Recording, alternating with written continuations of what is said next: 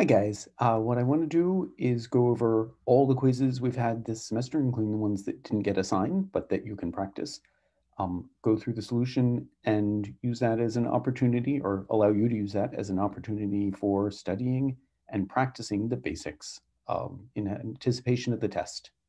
So here we go. Our very first quiz back when we were young was lecture one, two. And each of the questions was basically the same question with some of the details changed. So you notice first we have collection of high school students in Wisconsin. We asked whether they play video games, and then they were given a blood test to measure their iron levels. So the two variables, whether they play video games and iron levels. And this second sentence, I think I can highlight it, um, sort of. Researchers found that playing video games leads to, on average, higher in iron levels in parts per million. That means playing video games is affecting or conjecturally affecting iron levels. So playing video games is the explanatory variable and um, iron levels is the response variable. Playing video games is a yes or no question. So the explanatory variable is binary categorical. Uh, I don't need to check each time, I'm sorry. Um, slightly different situation. Now they're shoppers in Tunxis Hill Stop and Shop whether they've been in the hospital, and then how many social contacts they have. Again, being in the hospital affects somehow social contacts. So the response variable is um, their number, total number of social contacts. Just to go through it, shoppers at the Tunxis Hill Stop and Shop is the population, I guess. The 12 shoppers they picked is the sample. If they'd ever been in the hospital is the explanatory and asking for their mobile phones to determine is sort of the measurement process and being in the hospital led to on average same number of social contracts is the conclusion.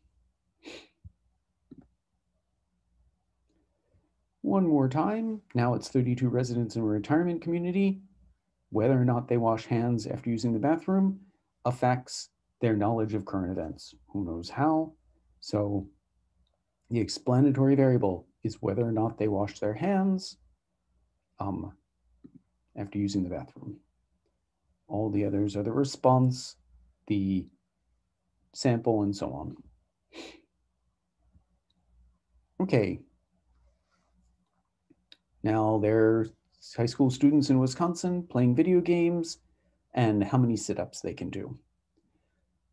Is an experiment or an observational study. This confuses people and let me say the best way I think to answer this is to ask yourself, how would I make it an experiment? Any study, the way to make it an experiment is to take a sample and then randomly assign each individual to have a certain value of the explanatory variable.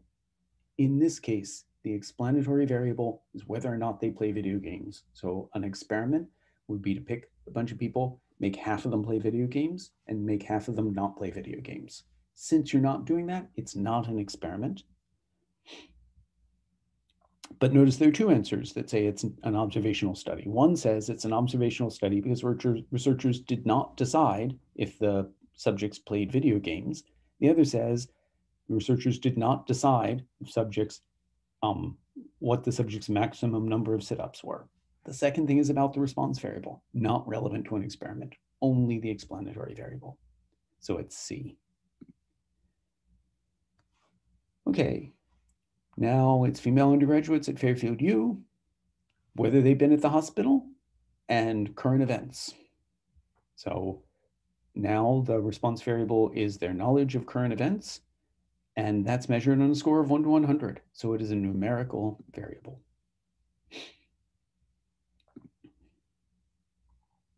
Okay, looks like we did pretty well there. Lecture three I'll try to keep track of which lecture we're which quiz we're on so I don't do it twice.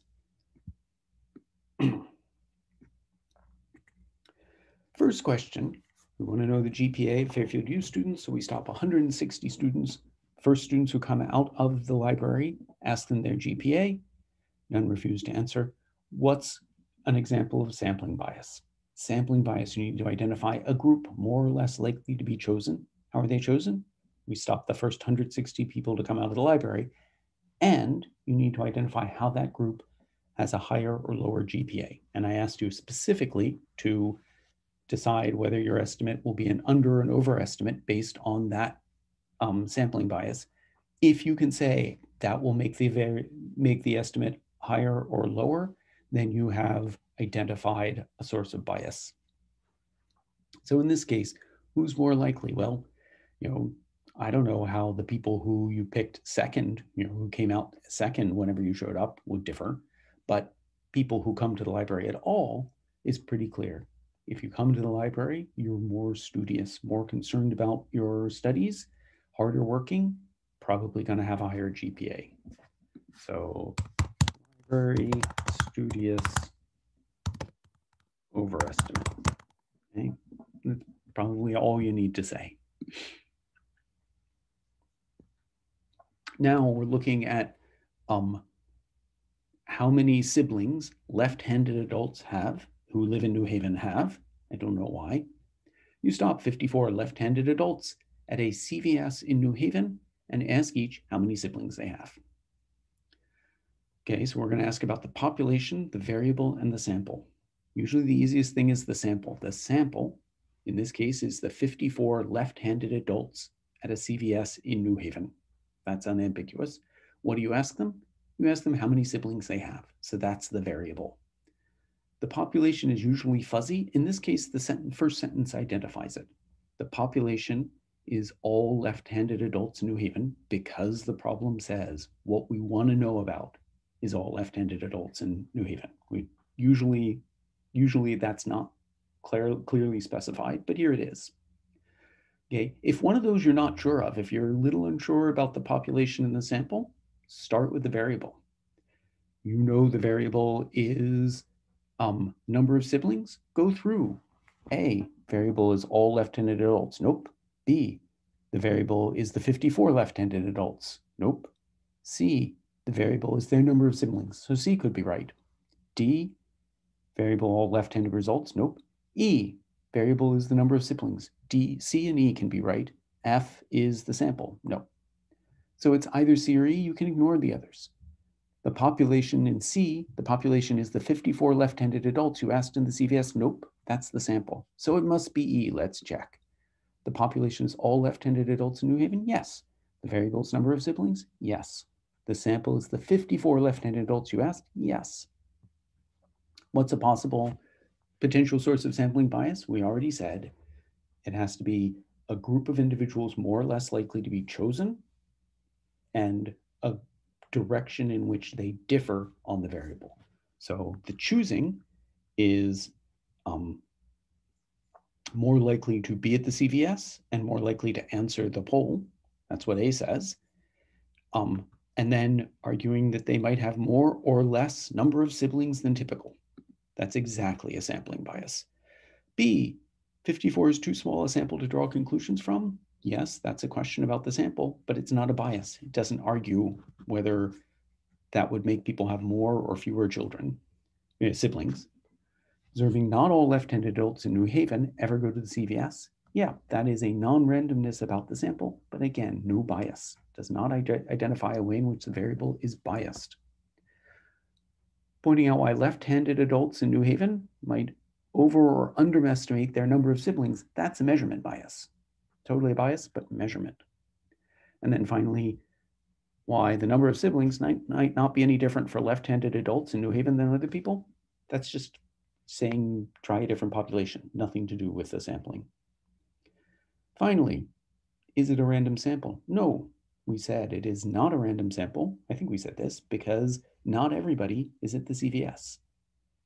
You're not going to get people who don't go to the CVS. So it's not a simple random sample. It is not a random sample. Is it obviously free of sampling bias? It's not obvious to me. Um, I can certainly drum up ways in which people who go to the CVS might have more siblings than other people.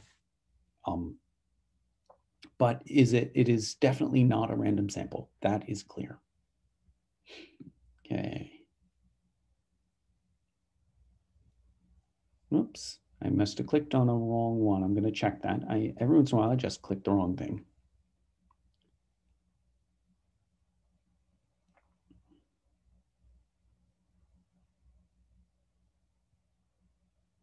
Yeah, I meant to click on this is not a random sample, but apparently I didn't. Sorry. Um, okay, lecture four.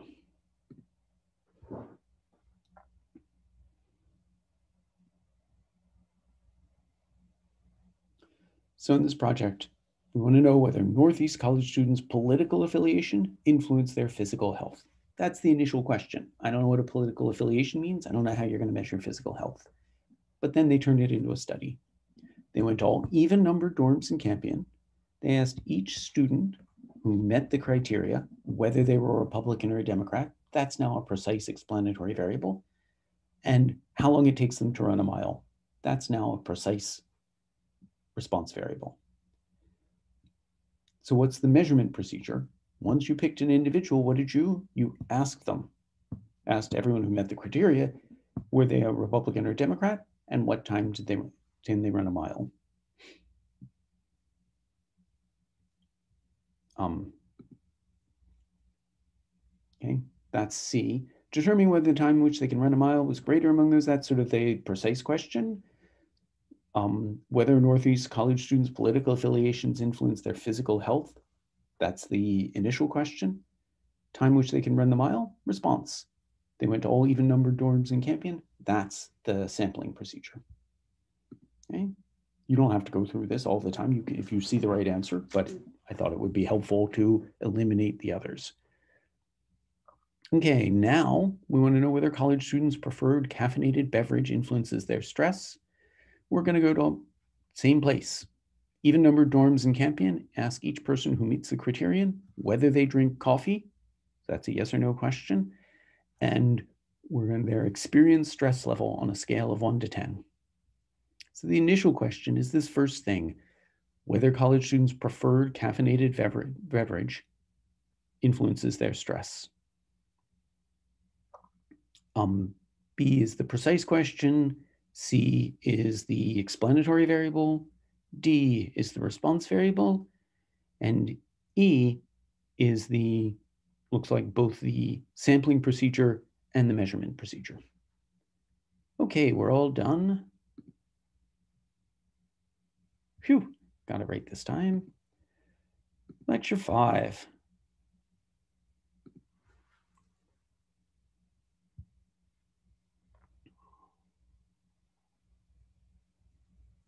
Okay, now we're looking at this histogram. Number of kids.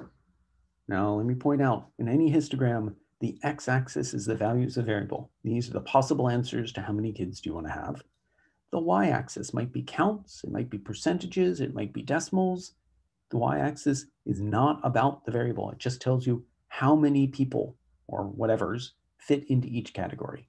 Okay, that is the biggest confusion. What does this histogram looks like? Look like? It is clearly skewed right. It has this long tail to the right. And I would say it is bimodal. You've got one hump right at zero and then another hump at two it is possible if this is really a very small sample and maybe that hump at two just represents one or two more people than at three, it doesn't look like it. You might argue against that, but I would say it's bimodal. But don't worry, because if you look at the um, questions, bimodal and skewed right is one of the choices, unimodal and skewed right isn't. Okay, so in this case, the thing that maybe was a little ambiguous, you didn't have to worry about. This is an important thing to, to notice in these questions. If it looks like I'm asking you something ambiguous, maybe I am not actually asking you to make that distinction. What percentage of married couples in the sample have exactly one child? One child is this answer here at one, and the percentage, these are expressed as decimals, maybe that was confusing, sorry. The percentage is the height which looks like 0.16 to me, or 16%. And if you maybe you were off by one or two, that's no other answer is anywhere near that. So that should be fine. What percentage of married couples have less than two children? Okay, now notice that may sound complicated, but it's just saying the only way you can have less than two children is to have zero children or one. So I'm just asking you to add up the percentage who have zero and the percentage who have one. Zero looks like 27% to me. One looks like 16% to me. When you add these up, you get where did I go? I'm so sorry. Um, when you add these up, you get, there we go, too many screens open, 43, okay? And there's some error built in if your estimate differed from mine. Um, this variable, number of children, is a number. It's numerical, but it's discrete, right? Because you can't have a half a child. That was the whole quiz. Let's see how we did. Good. Lecture six.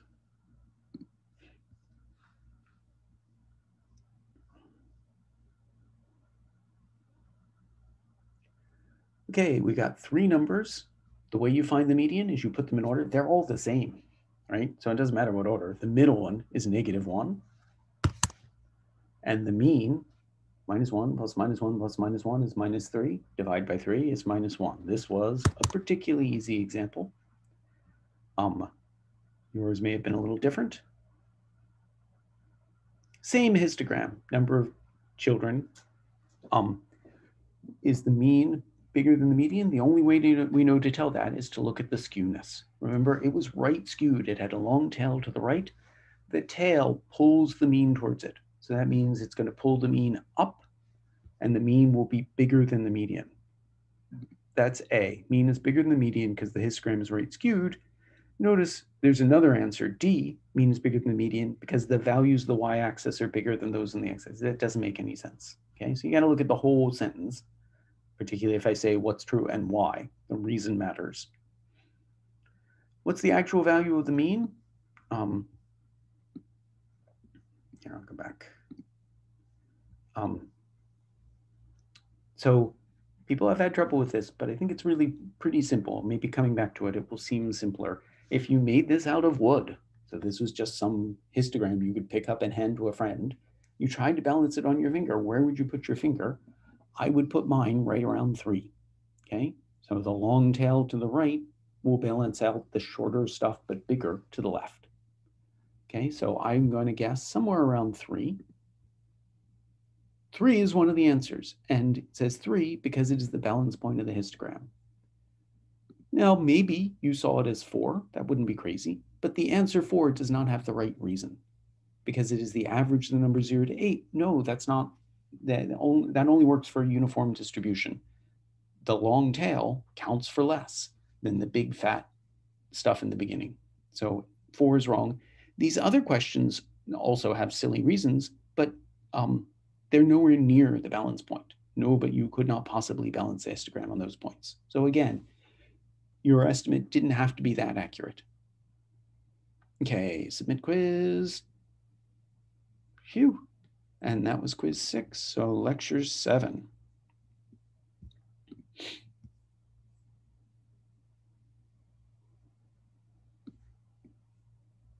I'm really nervous about that because when I practiced, I kept missing quizzes and doing going back over the exact same quiz twice.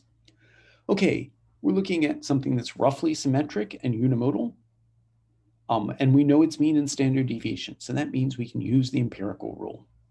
The mean is 520 the standard deviation is 80. So up and down from 521 standard deviation would take you down to 440 and 600. And up and down two standard deviations would take you to uh, 360 and 680. Okay, so this first question, what fraction would fall between 440 and 600? That's one standard deviation within one standard deviation is two thirds the data. 95% of the data, the second question, covers two standard deviations, and we said that was between 360 and 680. What fraction of all SAT scores would you expect to be less than 760? 760 is three standard deviations above 520. It's 520 plus um, uh, 240. So three standard deviations is basically the top. So almost everything is less than that. Almost all. How about more than 360? 360 we saw was two standard deviations. So 95% of the data is between 360 and 680. It's going to be more than that. How much more? Well, the remaining 5% is in these two tails. So one of the tails is included and one's not. So 95 plus two and a half is 97.5%. Okay, so you can reason out any between any two of the values mean, mean plus or minus one, two, or three standard deviations.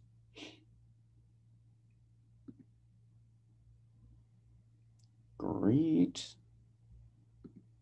Okay, lecture eight also um, is looking at uh, distribution. Uh, first, it's looking at quartiles. The first quartile is 4.5, the median is 6.5, and the third quartile is 8.5. So between 6.5 and 8.5, between the median and the third quartile, is 25%. 50% would be between the first quartile and the third, 4.5 and 8.5. That's C. Look at the answers carefully. I messed this up by not being careful. okay, we're back to SAT scores, verbal this time, symmetric and unimodal. Same mean and standard deviation, they're supposed to vary. This verbal SAT score of 400 is how many standard deviations above the mean? That's the same as asking what's the z-score. So I take 400, the value, minus 520, the mean, that's negative 120, and I divide that by the standard deviation 80, and I get minus 1.5. I'm supposed to do it to one decimal place, so that's exactly right. Is this z-score unusual? All that matters is, is it between minus 2 and 2? It is, so it's usual. Um, no, this falls in the range of z-scores considered usual. Um, the other no has the wrong reason. The distribution is roughly normal and symmetric and unimodal, so it is normal. That's true, but normal is not the same thing as normal distribution is not the same thing as usual value. okay, we're on a roll. Lecture nine, we did not uh, assign, but it's good practice, even better practice since you haven't done it yet. Um, you might want to skip over this, try it, and then, then look at the solution. so we're interested in how gender affects washing hands. Gender is explanatory, washing hands is response. You have a sample of 250 men and 270 women. 60, 161 men wash their hands, 225 women do. The response variable is whether you wash your hands. Okay, gender is the explainer. A, the A and C are just counts of things. They're not variables or anything. Whether gender affects hand washing is the precise question, and gender is the explanatory. Down here, the conditional proportions are always the counts. So men who wash their hands, for instance, is 161 divide the, divided by the total for the explanatory. So total divided by the total number of men. So this is the percentage of men who wash their hands is 161 divided by 250. I get 0.644, which is 64.4%. It says one decimal place. I didn't have to round. Percentage who don't wash their hands, well, you could subtract 250 minus 161 and then divide by 250, or you could just say, oh, it's the remainder. So if you take away 64.4, you have 35.6 left. For women, 225 women wash their hands. That's out of a total of 270 women. So that's 83.333%. So I round that to 83.3. Remember, you always take it to one more decimal point and then you round up or down. Women who don't wash their hands would be the difference, which is 16.7%. Okay, let's see how we did. Oh, I got it all right. Okay, lecture 10. Are we at scatter plot scatter plots yet?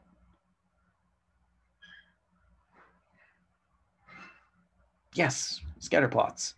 We're looking at scatter plot A. That is clearly a positive association. I think it's pretty clearly linear. It follows, the thing it follows closest is a straight line. And it's quite weak. There's a lot of variation up and down around the line. By contrast, here's scatter plot B. It's negative association. It also pretty clearly follows an underlying line, but it sticks very close to it. It is a strong association. So scatter plot, I don't know why this is already clicked.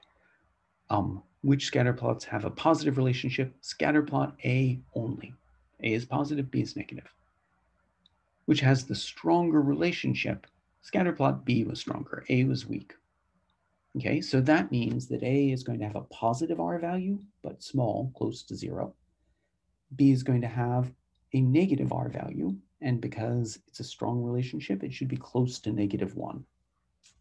Okay, scatterplot A has R equals one, clearly wrong. B has R equals 0.05, that looks reasonable. But scatterplot B has R equals zero, nope. A has R equals 0.05, that looks pretty reasonable. And B has R close to negative one, that looks right. And let's check D. A has R is negative almost one, nope. And then are the relationships curved or linear? They're both roughly linear. Okay. Those are all interpretive questions. So they went pretty quick. Let's look at lecture 11.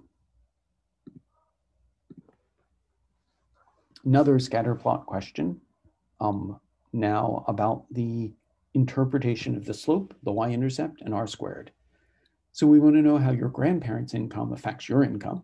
So we take a sample of 40 New Englanders. We ask them salary of their highest earning grandparent in thousands of dollars and then we ask them their salary in thousands of dollars. So if you answer 50, that means $50,000. Here's the least squares line. y equals 0.09x minus 19, and r squared equals 0.132. What does x represent? x always represents the explanatory variable, the thing doing the affecting, which is the grandparent's income. So the salary in thousands of dollars of their highest earning grandparent. That's A. Okay, that's the precise version of the explanatory variable. B is, if you look at it, is the interpretation of R squared.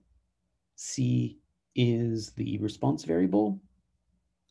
And I believe D is the interpretation of the slope. Okay, and noticing those will make answering the future questions easier because they all come up. Um, so for each additional something, you can expect on average some additional amount of something else is clearly the interpretation of the slope.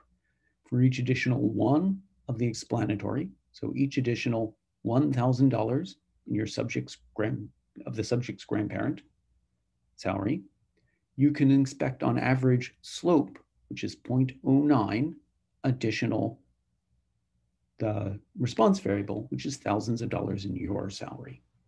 So your grandparents earned $10,000 more than me, I would expect you to earn $900 more than me. if they earned $10,000 more than my grandparents, is what I meant to say. Okay, the least squares line suggests that on average, a subject for which the salary in thousands of dollars of their highest earning grandparent was zero would have the y-intercept, what you get when you plug x equals zero in here, which is minus $19,000. Minus $19,000, that doesn't make any sense, presumably because zero was not part, not anywhere near the X values for which you had data, because nobody has an income of zero. Um, the percentage variation in the subject, subject's salary in thousands can be explained by its linear relationship with the salary in thousands of their highest earning grandparent. That is exactly the interpretation of r squared. r squared as a decimal is 0.132. So r squared as a percentage, how it was expressed here is 13.2.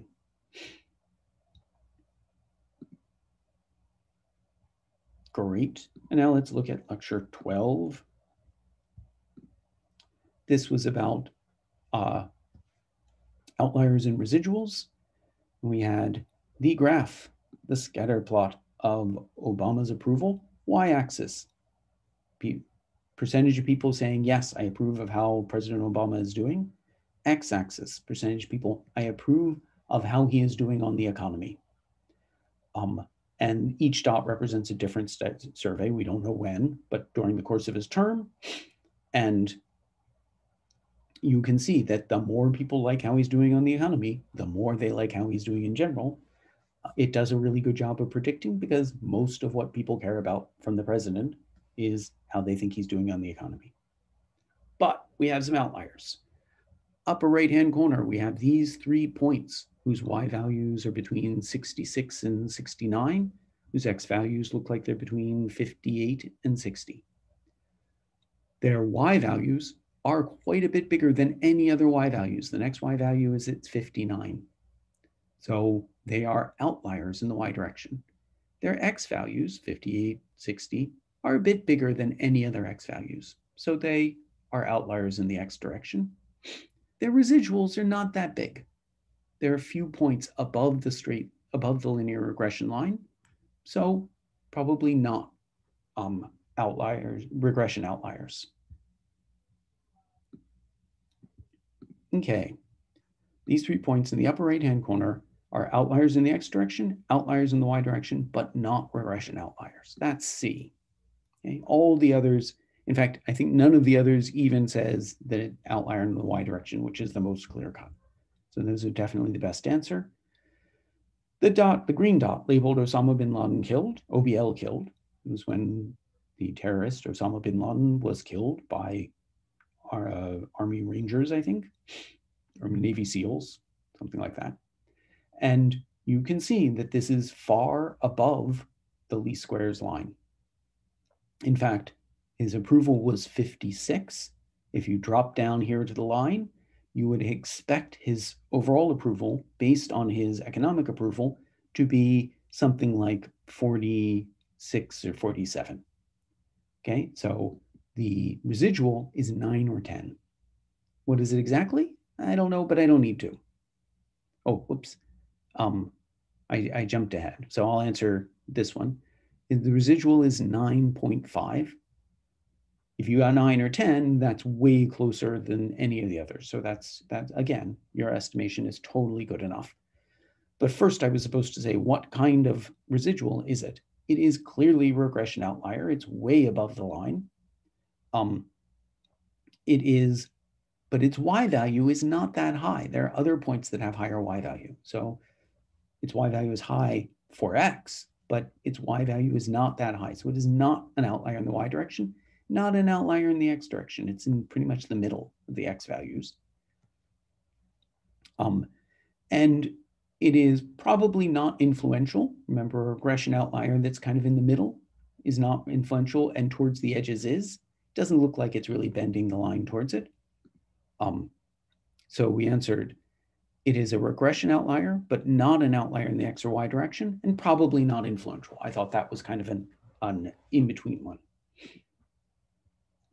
And then why is this, do you have this big residual? An out, an out regression outlier should have an explanation why it doesn't fit the pattern. And here it's pretty clear.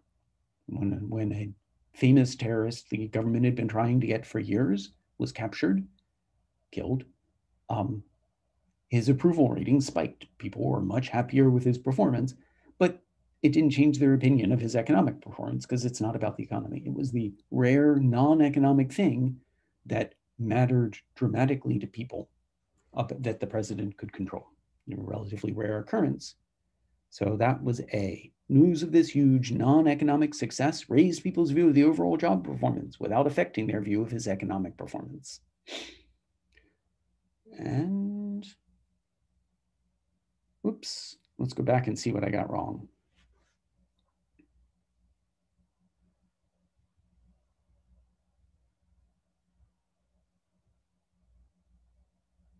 I clicked on 9.5. It robbed me. Um, so 9.5 was the correct answer. Alrighty, now let's look at 13, which was the um, probability quiz. Oh, this was the Katy Perry quiz. So here's the table. What's the probability a randomly selected activity will occur on last Friday night? Eight occurred on last Friday night out of a total of 40. Eight divided by 40 is 20%. Supposed to be the one decimal place, but I did not need to worry about that. What's the probability it will not involve breaking the law? 12 of the events involved breaking the law. So that left 28 that were law abiding. 28 divided by 40 is 70%. And again, did not have to do any rounding. I could also have done 12 out of 40 and then subtracted it from one or 100%. What's the probability it will involve glitter on the floor and will have, have happened last Friday night? That happened four times. That's what this number here represents. But it's still out of the total, out of all 40. So four out of 40 is 10%. Then I ask, involves glitter on the floor or will have happened last Friday night. So that involves this 16, this 4, this 1, and this 3. Um, you can make it a little easier on yourself by saying it involves the 8 that happened last Friday night, as well as the 16 that involved glitter on the floor and didn't involve last Friday night. Either way, you get 24. 24 divided by 40 is 60%. So my numbers have worked out so nicely. I have never had to um, show you an example of rounding up. But if I had gotten, say, 56.777 or 56.666, like in two thirds, you would round that to 56.7 because the second six brings the first six up to seven. Okay, and finally, which of the following events are disjoint from last Friday night? Disjoint means they can't happen together. Last Friday night and glitter on the floor happened four times. Broke the law happened once. Kissed but forgot happened three times. None of those are disjoint, but last Friday night and other nights can't possibly come together. So those are disjoint.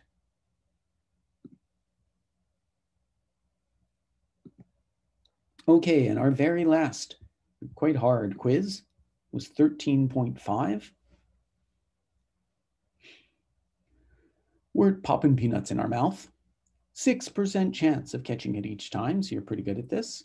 What's the chance you would not catch it? 1 minus 0.06 is 0.94 or 94%, right? We use the complement rule.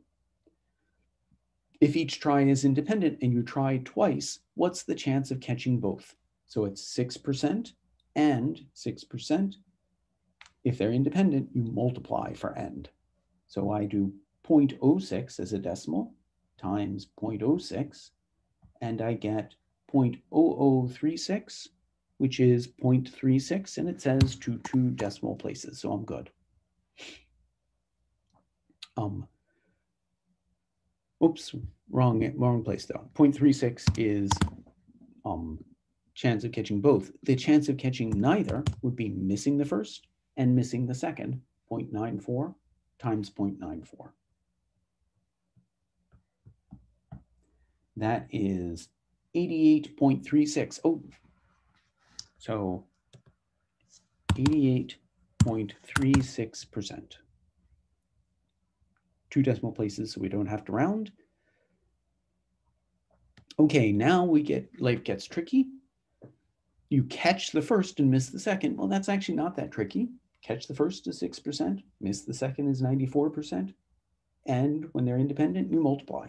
So 0.06 times 0.94 is 5.64%. But now I ask a funny question. What's the chance of getting exactly one peanut? So we know 5.64% of the time, you catch the first and miss the second. How about miss the first and catch the second? Same thing. That's 5.64% because it's 0.94 times 0.06. So you have about a 5.6 chance of getting one the first way and a 5.6 chance of getting one the other way. And they're disjoint. They're two different possibilities. So you have to add 5.64 plus 5.64, or you can multiply by 2, and you get 11.28. So we had to use both the product rule and the sum rule. Okay, so now we've got three MacBook Airs. One's fully charged and two are not. So to begin with, you pull one computer out, one out of three is charged. So the probability is one third or 33.3 to one decimal place. If you pull two of them out at random, what's the probability both will be charged? It's impossible, right? There's only one computer that's charged. So after you pull the one out, there are none that are left that are charged. So the answer is zero. So this would happen to be a little easier. But normally, if there were, say, five fully charged out of seven, you'd have five sevens, and now there'd be four left out of six. It'd be five sevens times four sixths, or whatever your numbers are. What's the probability both are not charged? So the first one is two out of three, so two over three. The second one, there's only one left, one uncharged and one not charged. So now it's one out of two. So it's two thirds times one half, which is one third, or 33.3%. And let's see what I got wrong on.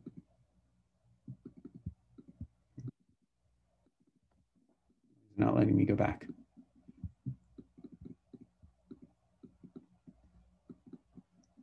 Um, oh well, I think I clicked on the wrong thing. So, or perhaps I miscalculated. Sorry. Okay, I hope that that helps. I hope that gives you a little bit of a um, sense of the kind of things I might ask. In addition to thinking about the quizzes and similar problems, also think about the worksheets and of course the practice test. The solutions have been posted for the practice test. Um, and those would be my highest recommendations for studying.